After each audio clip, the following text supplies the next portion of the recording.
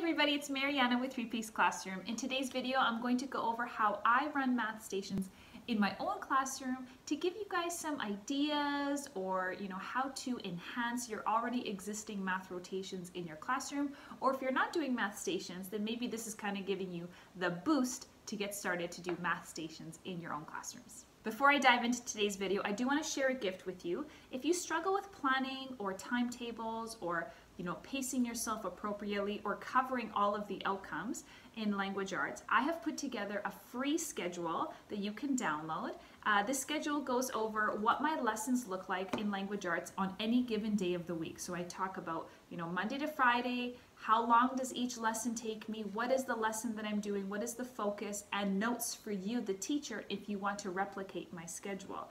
Following this schedule helps me to have a very well-rounded language arts program and following this I know that I'm hitting a lot of my outcomes because I'm doing a little bit of reading, a little bit of writing, a little bit of grammar, a little bit of phonics, a little bit of guided reading, daily five, journal writing, all of that. I cover it all. So if this is something that you're interested in having, you can go ahead and go to my website, threepeaksclassroom.com, that's the number three, forward slash ELA schedule, and you can grab yourself this free download let's talk about math stations. I like to have five math stations in my classroom just like I do in Daily 5 and the reason is very simple. If I have five stations, that means I have five groups and that means my groups are smaller. If I like if I do daily 3 like a lot of teachers do in their classroom, you know, math daily 3, then I'm dividing my group into 3 and if I have 30 students in my class, that means I'm meeting with 10 kids. That's not feasible. So I have five stations and I pray to God that I don't have 30 kids in my classroom, but if I did, and I have five stations, that means that I'm meeting with six kids, which is a lot more manageable. Really quickly, the five stations that I like to have in my classroom, the first one is always math by myself, the second one is digital math, the third one is a math game, the fourth one is math books, and the last station is always math with the teacher. So let's dive in. First station, math by myself. What does that look like? Well, generally math by myself is students are sitting at their desks. This is, um, they're given an activity like either a worksheet or questions from a textbook, or maybe I've printed questions, or maybe it's a page that they have to hand in to me. Whatever it is, it's themselves working independently at their desks. And um, this is a skill that they have already learned before, and they are just practicing that skill. Students should not be struggling at the table. They should already know what to do and they should know how to do it. So that is math by myself. Now, if kids do have a question, if they're sitting and they're not sure what the question looks like, or if they're not sure, you know, what the question is asking them, they are welcome to ask their friends for clarity but obviously they're not allowed to ask for the answer. I also will occasionally ask them to hand this work in. So they don't know which date they're supposed to hand it in to me. So if it's a worksheet or if it's, you know, questions in the math textbook or whatever, they know that by the end of the 10 minute timer, they should have completed the two, three, four questions that are listed there for math by myself. I like to start with math by myself first and then follow it up with digital math so that students that happen to finish early on Math by Myself, instead of them sitting at their desk and just waiting for the timer to run out, uh, they are welcome to move from Math by Myself, hand it in if necessary, and then go and grab their laptops or whatever device and they get to start working on their digital math. Now there are two websites that I swear by for math stations. Mathletics, my school provides a um, subscription for each of my students, so I love Mathletics. And I also use a website called Splash Learn, and uh, it's free to use. It is an American company though, so you have to be careful which class you select. I would normally select a class lower, so even though I taught grade 4 or grade 3, I would always select a grade younger because I found that the math concepts aligned better. Now, of course, with our new curriculum and stuff, there might be some outcomes that are not covered in this American website, but that's okay. If it's a free website and let's say 75% of it kind of matches our curriculum, I'm okay with that. So we use Mathletics and we use Splash Math, and I will, you know, put it on the board so the kids know that I've assigned, you know, one assignment to them or whatever, and they have 10 minutes to uh, get started. If they don't finish that, then the next time they do splash math or next time we do digital math, they have to finish the lesson from before in addition to the lesson that um, I've assigned for them that day. So uh, I love using digital math as one of my stations in my classroom. The third station that I like to have in my math station rotation is a math game. And the math game can be played individually with partners or in a whole group. It doesn't matter, it's up to the kids and it depends on the game that I've provided. I'm currently doing a whole series talking about the games that I use in my classroom depending on the unit. I've already filmed a video entirely dedicated to my place value games. So if you're interested in seeing that video, I will link that in the description below. Um, but I will pull a game out of my bin and I'll pull it, put it on one of the smaller carpets that I have in my classroom and the kids know to rotate to that station and they can choose to play a whole version or individual or with a partner. But the math game is a concept or a skill that we have already covered. So if we're currently doing addition and subtraction, then it could be an addition and subtraction game, or it could be a game that we've previously learned in place value, for example. So I might pull a game from a previous unit just to keep those skills a little bit more fresh. So, or sometimes I'll give them an option too. Maybe they prefer this game over that game, they can choose. So, math game is essential in my math station rotations. The fourth station is one that you might not have in your classroom, but I can't imagine doing my math rotations without this station, and it is math books. So I have a bin dedicated to just books about math concepts, like storybooks, for example. I saw this being used while I was doing observation, I was observing another grade three teacher, um, and I fell in love with that idea. It's basically a bin full of math books.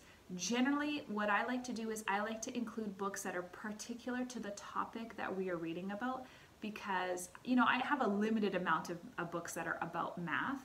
And so I will include, like, if we're doing addition and subtraction, then I will have books that are all about adding or subtracting or around that theme. Plus, I will also include books that we have already talked about in previous units, so place value books or anything like that. So, but in this station, the book bin is literally just placed right in the middle of the classroom uh, carpet, and the kids in the in the group they are welcome to read individually with a partner, as a whole group, whatever they want to do. Uh, but the idea here is that they are, you know, reading books that have to do with a math concept.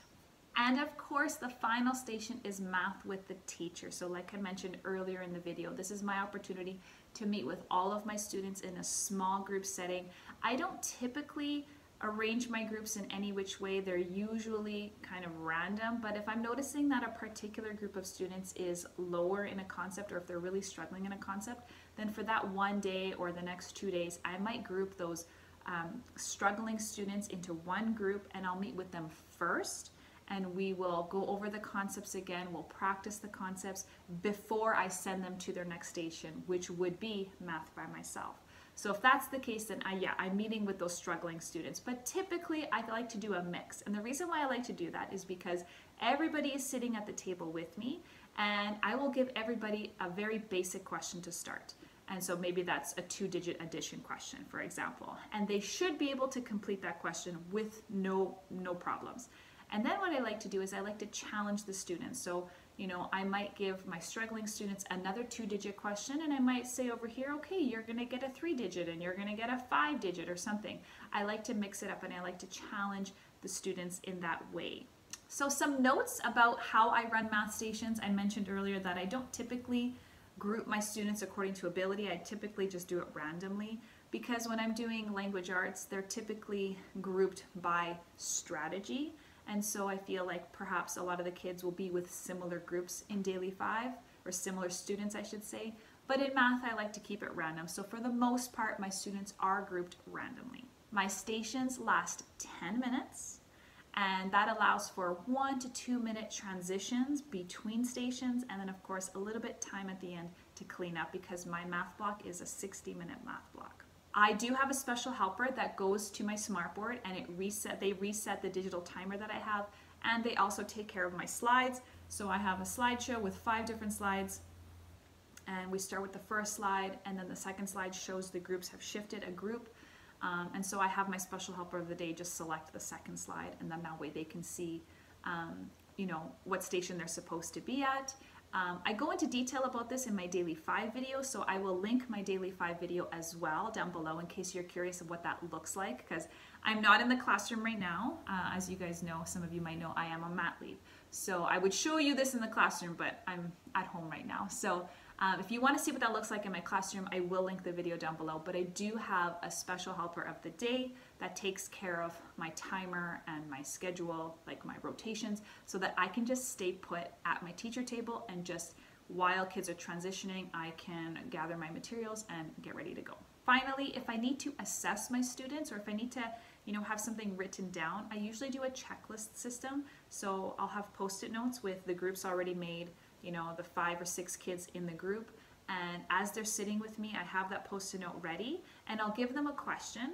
And if a student gets the question correct, I don't write a check mark because it's quite obvious that I'm doing a check mark. I'll actually write a slash. I will write a slash and that is kind of like a check mark, but it's to let me know, yeah, they didn't have any problems, so they got that one. But if they did make a mistake or if they got it wrong, then I'll write a dash. But if they made a mistake and then corrected themselves, then I will write a dash with a slash through it. Of course, those words rhyme. so that way I have a, a running record and a little checklist with me so that when I sit down to update their marks in their grade books, then I can look and I can say, okay, you know, this on Monday when we did stations, then I noticed that there were a lot of dashes, but then when we reinforced it on Tuesday and Wednesday, I noticed a lot of slashes, so I could see that they are practicing and they're developing, so they are definitely, you know, progressing. So that is how I do a quick checklist system um, if I wanted to assess the students while they are with me. And that's it. That is how I run my math stations. Now I don't do math stations every day, but I like to do math stations for the majority of the week. So similar to how I run my LA schedule, I like to teach a whole group concept like on a Monday or a Tuesday, and I use my math notebook to do that. So let's say, for example, that we are in addition and subtraction, like I was mentioning. They have an addition and subtraction notebook, and the first lesson that I might teach my students, or one of the first lessons that we might go over, is a whole group lesson on regrouping. And so with my students, we would talk about the I can statement, and how it relates to the program of studies, you know, how they should be able to show me their learning. And then we create this anchor chart together. I will make a master copy for the class that'll hang on my wall, and the students will create their own version in their math books so that when they're doing math by themselves, if they have a question, instead of interrupting me or a student that's working, their first line of defense here is they can look inside their math notebooks to remind themselves, how do I do that again?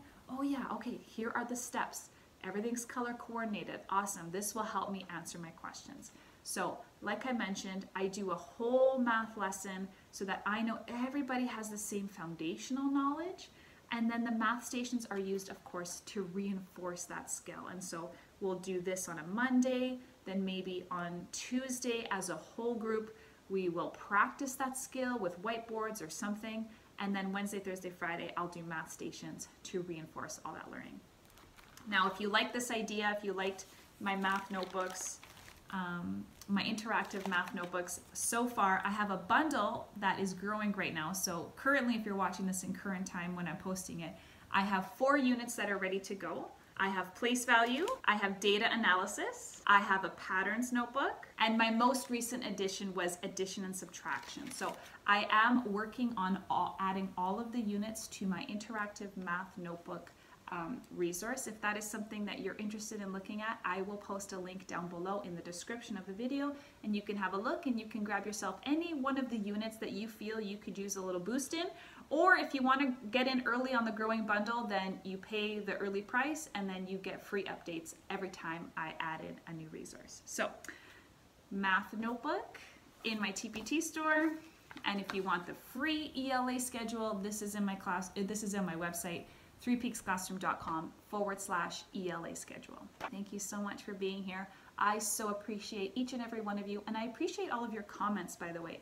When you leave a comment down below, I love reading them, I love replying to you, and it also gives me an idea of what you're thinking of and what you're wondering of so that I can create a video for you on YouTube. So if there's something that you're curious about, feel free to leave me a comment down below. As always, I love all the likes and the subscribes, so thank you so much for watching, and I will see you guys in the next video. Bye.